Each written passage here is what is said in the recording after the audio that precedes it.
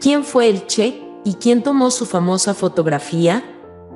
Ernesto Guevara de la Serna, 1928 a 1967, apodado El Che. Fue un médico argentino que se propuso extender la revolución por toda Latinoamérica.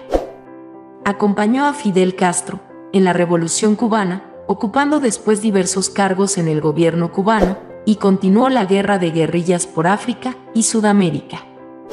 Capturado y ejecutado en 1967, aún hoy continúa siendo un símbolo de la rebelión contra el sistema establecido.